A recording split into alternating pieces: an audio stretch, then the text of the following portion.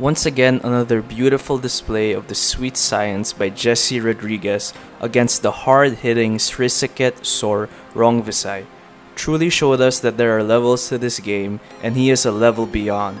So now, let's talk about what he actually did to get him the victory. Movement, angles, as well as some good old solid fundamentals were the game plan for this fight.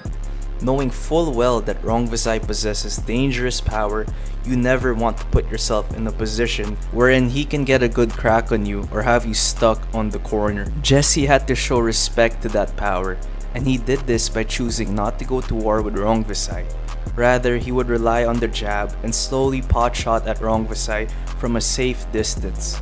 Even if the jabs wouldn't land at times, it still made Rungvisai cautious to enter and allowed Jesse to set up some straights. He also chose to never stay at one same position, always constantly moving and never really allowing Rungvisai to sit on his shots. He also utilized feints which had a great effect on Rungvisai, constantly making him question which punches were about to come. Jesse's amazing use of angles were very key to victory.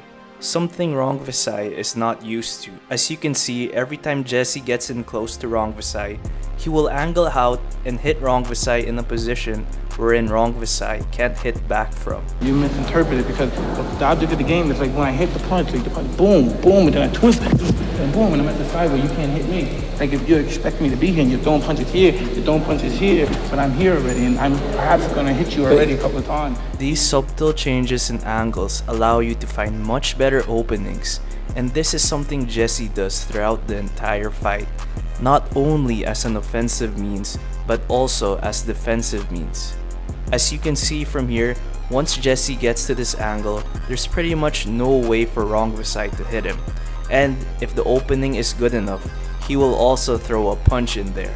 Just look at how beautifully Jesse sets up these angles. He will use the jab to block Rungvisai's view, which gives him time to change angles without Rungvisai noticing.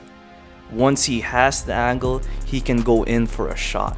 I also noticed with Rungvisai's training that there seems to be no real explanation behind the punches that he's throwing on the mitts. Kind of just throwing punches for the sake of throwing punches. Compare this to how Jesse trains and everything is a lot more calculated. He seems to get imbalanced quite easily and never really tries to set up punches. Will just throw wild haymakers from very far away which Jesse could easily read. Too much of an over-reliance on power and not enough of trying to land the shot. As we can see from here, Jesse would also make Rungvisai pay for committing to shots by countering them through his use of angles.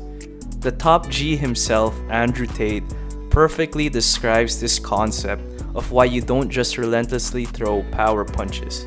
The difference between a machine gun and a sniper rifle is the reload time, right? Machine gun you can miss because you can just quickly reload it. Sniper rifle you got from bolt action, all this bollocks. Exactly the same thing. Every single every single weapon has a reload time. So when you're fighting as a professional, the reason I don't just go in there and start swinging is because if I miss, there's a huge reload time and I'm gonna get hurt. Just like as how Andrew described, Rungvisai would commit so much to a punch, and when it misses, he doesn't have enough time to bring his arms back to defend himself.